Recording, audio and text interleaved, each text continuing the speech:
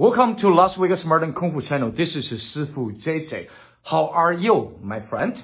Every day is a new beginning. Are you ready for a beautiful, amazing day? Start now. Video Q&A learning Kung Fu at home. I choose five questions to answer today. The first one, is too late to start Kung Fu? The answer is you're never too late to start Kung Fu. Someone told me I'm nine years old, maybe I'm too late to start Kung Fu. No. In my life class, I have as young as three years old little kids. They can do Kung Fu and do Wushu. They're doing very well. And someone told me I'm 60 years old. Maybe I'm too late to start Kung Fu. The answer also is no. I seen much older people to doing kung fu and also they doing very well. So, Why I saying that? Because kung fu have so many different styles and form to fit different level and age. So you can do it. If you have a bigger age, you can to choose the internal kung fu style like a Xingyi, Bagua, Tai Chi. More doing and you more better and make you younger and make you stronger. For young people, you might choose the external style to take the challenge to jumping, to flipping, to folding, to fighting. Why not? You're never too late to start Kung Fu and Wushu training. The second question, how many days and times should I practice Kung Fu? My answer is, do as much as possible within your limit. In general, I will suggest three days a week, one hour to three hours a day. So this answer is according from my life student and class. So my student coming about three days a week and they training one hour to three hours a day and they got a good result. But for online class might be different, but also depends how the content, how the way you training. For example, if you just start training with the punches, so you never stop. Do 10 minutes with that, and you do horse stance for 5 minutes with your punches. And then you do conditioning. And after you do stretching, and then you try to do some jumping kicks. You non-stop for one hour, and probably this is equal three hours if you just do a little bit punch and go water break and rest and come back. You do a little conditioning and go water and break and come back. So really depends how intensive the content you're training each day. The best way is before you start training to set your plan. For example, I want to do the punches, punches, 20 times by three side. And the same thing for palms, 20 by three side. For example, like this. So anything else, kicking and stances or conditioning. So set plan and follow your plan and training hard. Or you can follow my real timing Kung Fu class. Follow from the beginning until the end. And you go water break and come back to do other time. And you go water break, come back to do another time. So if you do three times or five times a day, I believe that's enough and it's a good training. Number three, how to make your strong body condition. The answer is training Kung Fu forms already is a good exercise to improve your body condition to make you stronger. For Kung Fu Wushu training, it's a great workout for your body every muscles. Like you do punches, like you do stances, or you do jumpings, you do every combinations. Always work out every single muscles of your whole body. It's approved by the science Kung Fu Wushu studies. There's one form to improve your body condition very quick. That is Di Tang Quan. So let's try this way. So if you just fall down on the floor and quick get up, no matter what way it is, you go fall and get up and fall, get up. You try it, how much energy you need to give and how much workout your body muscles. It's a great, great workout. Of course, all other conditioning training will help you very much. Let's push up and jumping jack and squats and frog jump.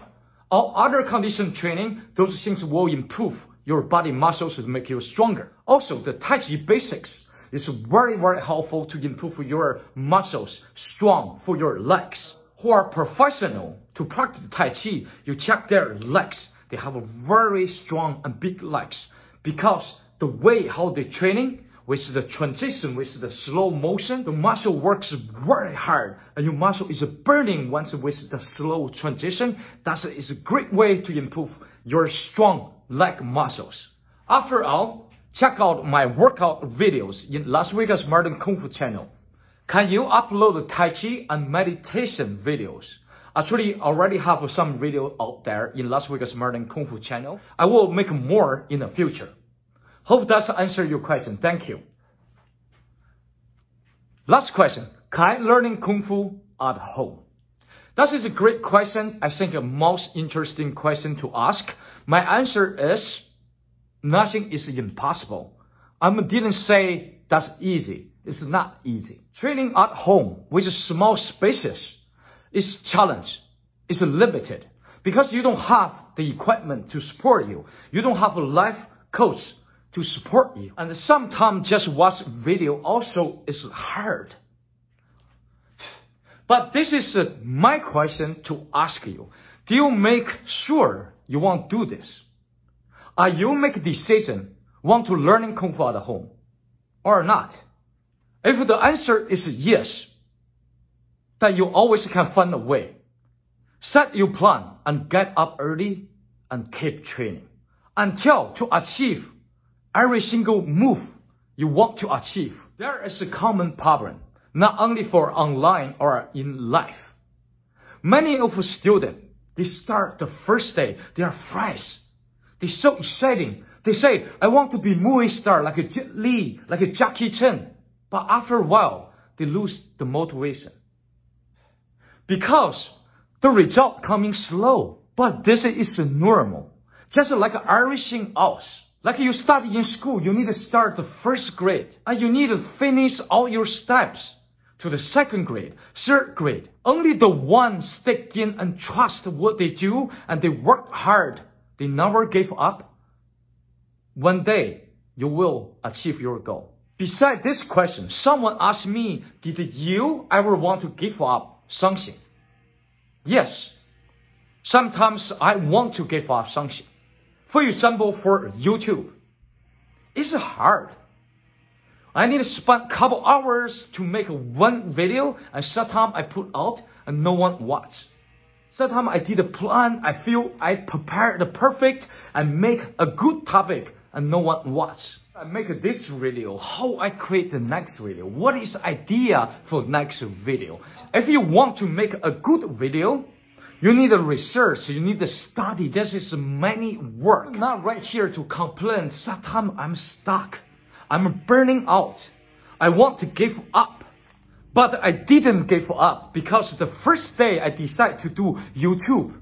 I want to make a video to help thousands of people to learning Kung Fu at home. I want to make a friend. I want to connect with people by Kung Fu training. And actually I did everything I want. And why I'm careful getting more views, more subscribers, and more and more are getting so greedy. And this is making me burning out and not happy.